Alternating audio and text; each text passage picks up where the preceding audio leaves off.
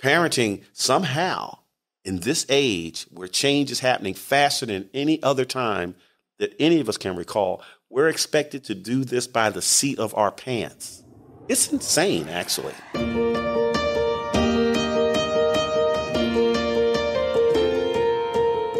Welcome to the Voices United in Education podcast. Each week, we showcase the teachers, administrators, and community members who go the extra mile to contribute to the success of every student in Escambia County. You'll meet the real people behind the titles and learn about the amazing resources to support every student's success. You take a driving course before you get a car. You complete training before you start your job. But when you bring a tiny human into the world, you're sent home 48 hours later with a pat on the back. If you've ever wished parenting came with a training manual, this episode is for you. My next guest is the executive director of Parent University, a nonprofit offering supportive courses for parents of all ages.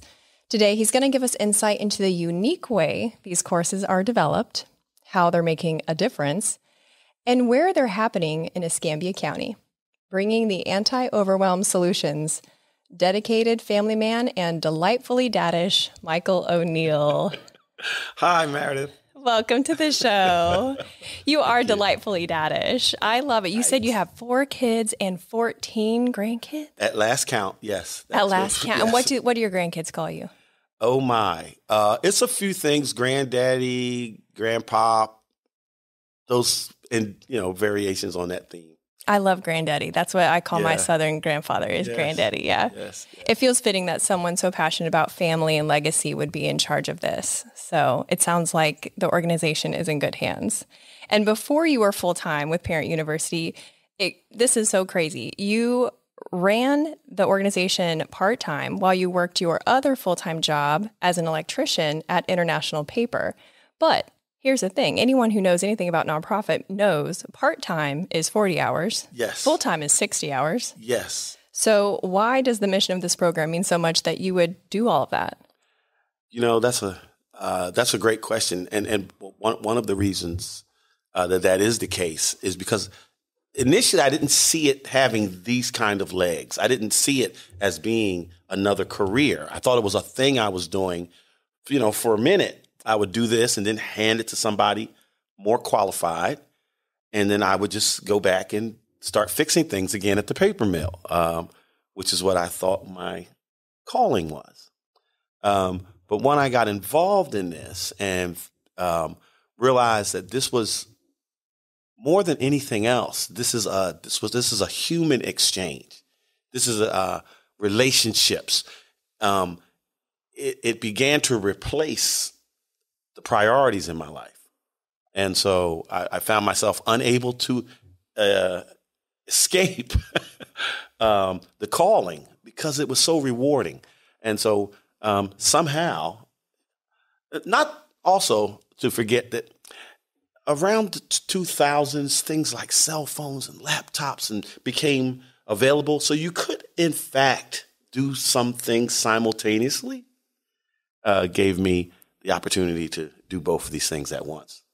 And so it became that bridge to kind of explore this as a full time career. Yes, yes. But it wasn't until even a little later till I even began to really think of it as I would, as, as I've may have mentioned, um, that I began to actually think about replacing my full time job at a paper mill, which uh, it's a fairly secure environment. Oh, everyone knows International Paper is a very secure job. So I think that speaks volumes of your passion for this program because it seems crazy on the outside looking in, going, why would you leave IP? Yes.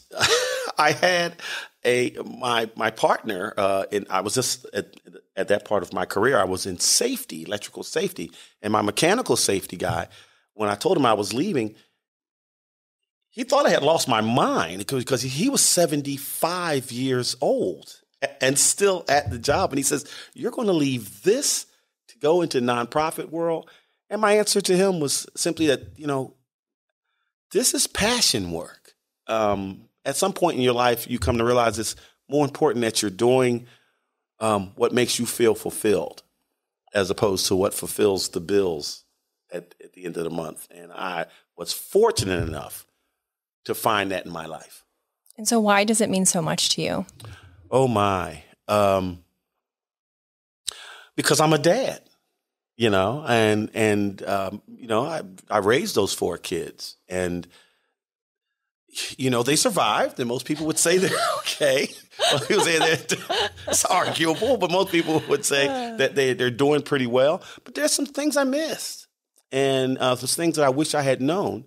And unlike my other job, my electrical job, I relished the opportunity to train. I thought it was, oh my gosh, I get a chance to train. I felt great. However, as you said at the opening of the show, when someone began to talk about the need to learn more about parenting, I received that invite with a lot different energy. I thought if someone were to tell me you could be a better parent if you did this or if you did that, that felt more like an attack. That felt more like a uh, an indictment of my desire to be a good parent. And I, I said, you know, if if I felt that way, I wonder does anybody else feel that way about parenting? And it is the reason why we don't engage in continuous learning around what is arguably the most important job on the planet. Why is there no training? Why don't we do it all the time? Why isn't it normal and not uh, something we do to ameliorate a situation in, in the home or, or, or outside of the home? why isn't parent training just as normal as feeding and clothing and all the other things that we do to nurture our children? And so I began to talk with some people, some parents like me, and, and ask ourselves, why is that? What what is that? What's the difference? And they and they were kind enough to tell me what they thought. And those thoughts became the foundation of what we now call Parent University. So what were the thoughts? How does one overcome that inner ego to ask for help for everything but parenting? Well, when my when my job, you know, after I totally destroyed this machine they sent me to fix, my boss would say the next day, "We're going to get you some training on that." And I'd go, "Yeah, that's great," because I knew that meant they're going to send me somewhere probably and pay me, and then I'm gonna get a certificate, and it could even get in line for a raise and all that kind of and status on the job. So there was all these positive strokes that was associated with training. You see, I'm gonna be the specialist on this particular item. Training around parenting has a different energy. You know, it's like, oh, what's wrong in your house? What did you do wrong? Oh, well, if you really wanted to do better, you could. It's like parenting somehow in this age where change is happening faster than any other time that any of us can recall, we're expected to do this by the seat of our pants. It's insane, actually, uh, to be honest with you. But we're not here to talk about the psychology behind it. What we're what we're saying is, what are the what are the um, the elements that make it different? And one of them I just described. You training for jobs, you get accolades. Training to be a good parent you you don't get quite the same. So we want to do create an environment where you got those same accolades. We want parents to show up and their child is being taken care of while they're there. That they get breakfast, that they get lunch, uh, uh, they get rewards throughout, and and and most importantly, they get to describe the curriculum. I love you know, that because people get people tell you what you need. What happens when somebody tells you you should do something? most of the time you accept it. Uh, begr- not maybe not begrudgingly, but passively. You know, certainly not full with your full vigor. No, you say you understand it, so the person stops talking at you. talking That's the truth of it. You're exactly. like, "Yes, sir, I and, totally understand. I will do that, sir," and then you just go on your way. And right, and you do the minimum. Yeah, and you look for a reason not to do it. And as a result, lots of resources in our community, lots of things parents could do get undone. However, if we create a space that the parents say they need it, then they will use that human behavior that we all use when we are when we own something. You know, be it be it your car, your home, whatever. If you feel like you own it, you go that extra mile. You go, you give it that extra ten percent because it's yours. And so what that what that gave us the opportunity to do was to create a behavior inside homes that oftentimes feel disenfranchised with the learning process. Now they own the learning process. Now the learning, continuous learning is what we do. It's our culture. You see, so now we get up and we go to these classes, we have fun, we learn stuff, but we have so much fun and we feel so good about it, we don't realize we just learned something that's going to change our lives. I love that. You say it's not psychology, but there's what good is a program if no one is, excuse me, mentally prepared to receive it? Right. And I noticed on your website that every, um, I call them tracks. I don't know if that's what you call them, but there's the, you know, uh, the general one, the um, traditional, early baby and tech. Yes. And e- under each one, its description includes parent input is like literally part of the description. So tell me, what are parents in Pensacola asking for? What input are they giving you? Oh my. Well, you know, we're just coming out of this COVID environment. So there's a lot of things around mental health. Um, uh, you know, we've been we've been cooped up in a strange environment for a couple of years now. Uh, things that we were used to having were diminished, if not closed for a while. Um, jobs were lost. Uh, our our world, all the things that we thought were we could count on, not so much. So there's a lot of mental anguish around a feeling of insecurity. There's also a lot of people who are now, or for a while, were actually playing the role of the teacher and the parent, literally, and trying to make a living.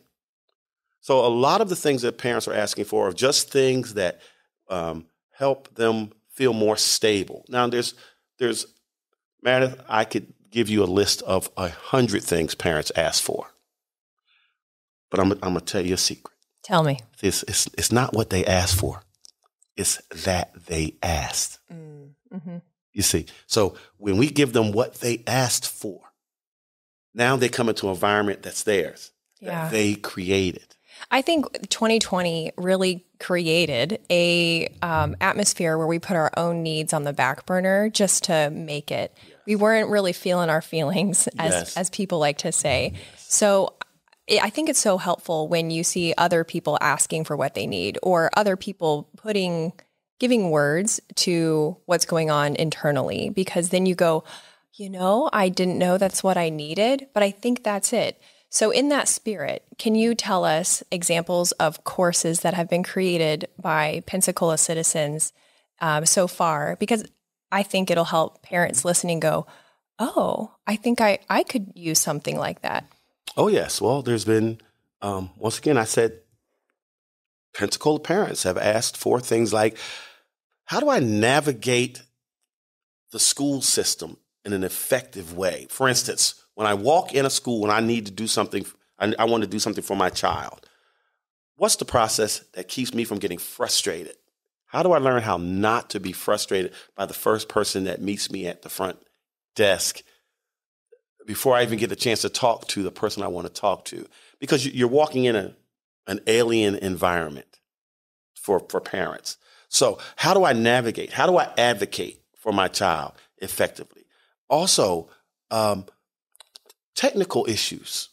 You know, all of a sudden, Zoom is national infrastructure. it kind of is. I never thought of it that way, but you aren't wrong. Okay, now and you've never a few years ago you never used this. So how do I become more technically adept? Because I don't want to ask my child, um, how do I work this thing?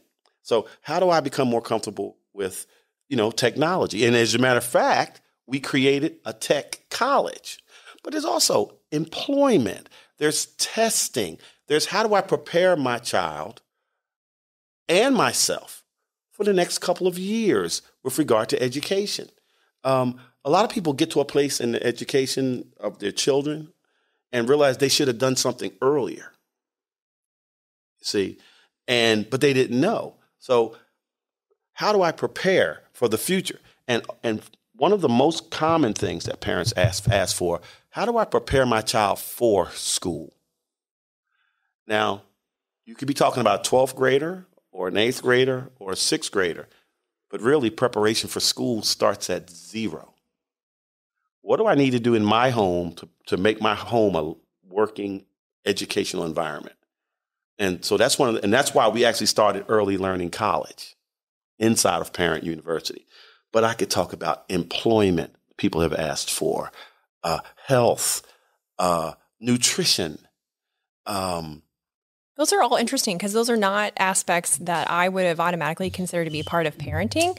But, you know, I like to say that we as humans are spaghetti, not waffles, yes, right? So, yes. like the part of us that would be the waffle square of education, yes. you know, and then the waffle square of home life, parenting, love life, uh, yes. tech life the truth is it's not a waffle it's spaghetti and it's messy and yes. You know they get dried out and they stick to each other. Yes right. you know it's it's a situation. Yes, so yes, um, yes.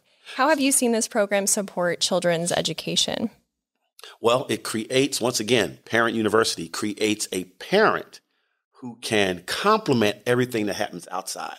What one of the tragedies is things a lot of good things happen for our children outside or could happen for it but then they come the children come home to a parent that's not up to speed, hasn't heard the language, and doesn't know whether they fully support whatever the child has just learned because they don't know about it. Can you give an example of that? I'm not oh following because I'm not um, a parent, so um, you have to lay it out for me. Uh, mom, I just came home and here, let me. I need some help with the new math.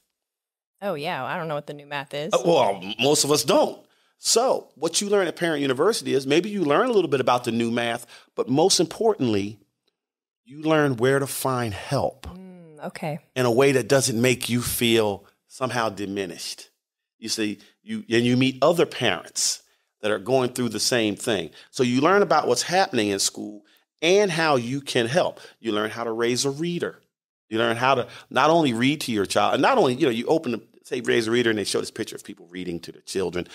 That's one way to do it. But you can also read a newspaper. You can even read your cell phone, you know, and you learn all the ways that you can participate. And once again, what happens is the school system and everybody else can also put their classes in Parent University. Because let's go back to what I said about it's the behavior. It's the behavior of learning. Because once you're hooked on the behavior of learning, you become voracious and you just have an appetite for learning. And so now there was that one thing that you liked, you know. So you went in there and you nibbled on that for a little while. And then you realize, oh my God, there's a smorgasbord of things that I can learn because I'm a learner. I love that. You're right. That that is a lifelong skill yes. and a skill that would carry on through children after they graduate into their employment and into their relationships yes. and into their own parenting, which would really change a whole community because you're changing one child, one household, one street, one neighborhood. Yes. And then the whole county. It becomes generational. I mean, we have grandparents. By the way, you don't have to be a biological, we call them, to participate in Parent University. Okay. Any adult that's interested in the success of our children is is is welcome to come to Parent University and take any of the classes. We we would encourage them to because children aren't just raised inside the home; they're raised in the community, as you said. So uh, when I came up, there were people on my block that if I did something wrong, I knew my mom was going to find out. And we didn't have cell phones. I don't know how they did it. I don't, you know, but I my mom would know that I threw that brick you know, before I got home. And I know her name. Her name was Miss Smith. And I, I'm invoking her even today, many years, decades later. And I thought her job was to torment me. It was much later that I realized that Miss Smith loved me mm-hmm. and helped raise me. So we create a space in Parent University for the Miss Smiths in the world to exist. I love that so much. And I understand there's even a graduation ceremony. Tell me about that. Yes, as a matter of fact, there's one coming up very soon, if I may say so, uh, at Pensacola High. It's going to be our first graduation at at uh, of at Pensacola, and we're all very happy. It's part of the national model now. That's so exciting. Can any Escambia pa- parent or guardian um, get involved with these classes? Any. We're open to all adults. All adults. Uh, we welcome all adults. So even you said all ages, parents of all ages. So if a ages. 17 year old is a parent, can he or she come? Uh, we would we would highly encourage Okay. and love them up when they get here. Every parent that shows up to Parent University is a heroine, is a heroine or or hero. Everyone, no one comes in because something's wrong. Every time we see a parent, we're looking at an expert who wants to be better. And daycare and food is provided? Absolutely, quality childcare is provided. We have accredited childcare, and we have delicious food, and there are prizes. As a matter of fact, we have we give away things like laptop computers. Oh, I love that. Yes. I never underestimate the power of a good prize. Oh my gosh. And applause. Sometimes when I drive by, you know, angry drivers, I'm like, Mm-hmm. oh, you need a prize and a hand clap, yes. you know? Yes, they do. now, imagine do. if everybody did that. Now, when you do that, you know, pro tip out the window and you clap Yeah, for them, yeah. that is not received in the way that I was, you know, you know, don't do it, don't do it. But maybe that's what they need. So maybe they should go to Parent University and get some appreciation. Um, so, where, if a parent is listening to this right now, what's their next step to find a class in Escambia County for this? You can. I'm going to give you two things. You can call 912 755 4422. Or you can go online to Parent University SAV. Just the word Parent University S Sam Alpha Victor dot org. Parent University, and you'll go online and you'll uh, be able to be in contact with me, and I'd love to talk with you about being a part of our next activity. That's exciting. And as we wrap up, um, you're from Philadelphia. Yes, And you live in Georgia, and you've developed pr- uh, programs here in Florida, in Georgia, Illinois, and Michigan. Based on your very unique outside advantage, your your perspective, what do you want people to know about Escambia County Public Schools? Oh my! Um, you know, we had to choose. We had to choose where we were going. You know, we have resources, and we didn't go everywhere at once.